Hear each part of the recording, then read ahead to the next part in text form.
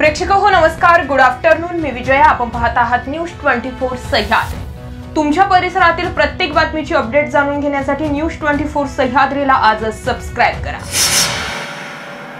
जगभरातील दोनशे तेरा देशांमध्ये कोरोनाचा कहर सुरूच आहे. जगभरात कोरोनाचे त्रेपन्न लाखांहून अधिक रुग्ण झाले आहेत. मागील चोवीस तासात जगातील दोनशे तेरा देशांमध्ये दहा लाख सात हजार सातशे सहा नवीन कोरोना केसेस समोर आले आहेत. तर कोरोनामुळे पाच हजार दोनशे पंचेचाळीस बळी गेले.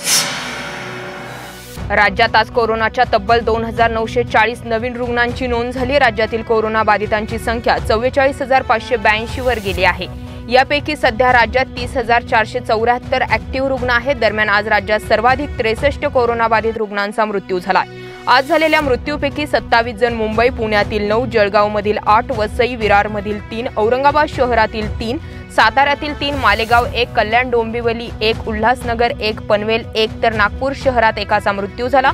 राज्यात आतापर्यंत एक हजार पाचशे सतरा जणांचा मृत्यू झालाय. आज आठशे सत्तावन्न कोरोनाबाधित रुग्णांना डिस्चार्ज देण्यात आला आहे लॉकडाऊनमुळे हातावर पोट असणाऱ्या आदिवासींना विविध समस्यांचा सामना करावा लागत असून रोजच्या उदरनिर्वाहासोबतच आता पाणी टंचाईचे संकटही त्यांना भेडसावत आहे.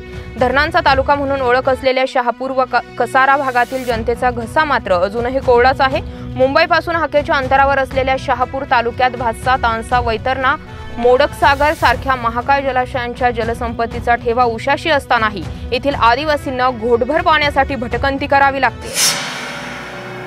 सध्या कोरोनाच्या काळात राज्य सरकार आणि मुंबई महानगरपालिकेने गर्भवती महिलांसाठी स्वतंत्र हेल्पलाईन सुरू करण्याबाबत विचार करावा अशी सूचना शुक्रवारी मुंबई उच्च न्यायालयाने केली आहे.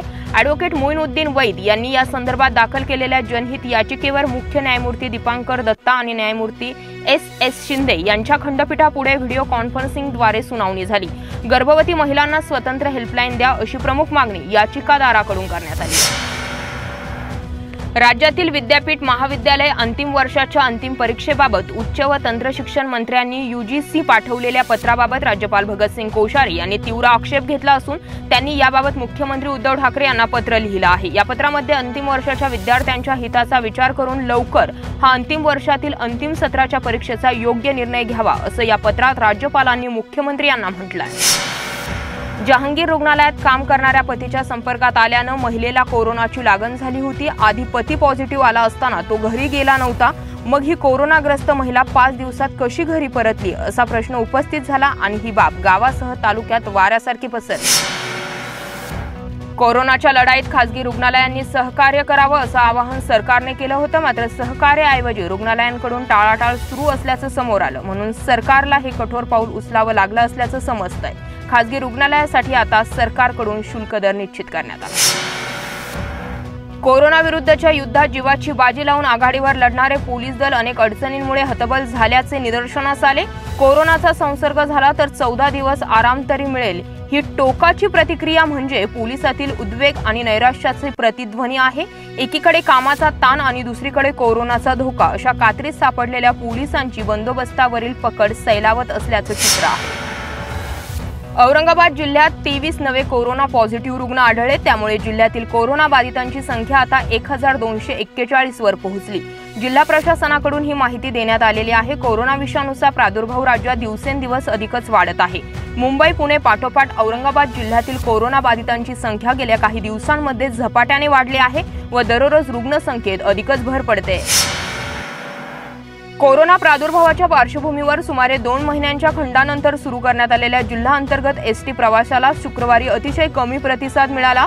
शासकीय मार्गदर्शक तत्वांनुसार बावीस प्रवासी असलेल्या एस टी गाड्यांच्या बावन्न फेऱ्या जिल्ह्याच्या विविध भागात शुक्रवारपासून सोडण्याचे नियोजन करण्यात आले होते. पण गाडीत बावीस प्रवाशांचा कोटा पूर्ण न झाल्यामुळे दिवसभरात जिल्ह्यातील विविध एस टी आगारांमधून एकूण फक्त अठरा फेऱ्या सायंकाळपर्यंत रवाना झाल्या. काही ठिकाणी कमी प्रवासी असतानाही गाड्या सोडण्याचा निर्णय प्रशासनाकडून घेण्यात आला. यासह देश विदेशातील महत्त्वपूर्ण बातम्यांमध्ये आता वेळ झालेली आहे. इथेच थांबण्याची मात्र तुमच्या परिसरातील प्रत्येक बातमीची अपडेट जाणून घेण्यासाठी न्यूज ट्वेंटी फोर सह्याद्रीला सबस्क्राईब करायचं विसरू नका. धन्यवाद.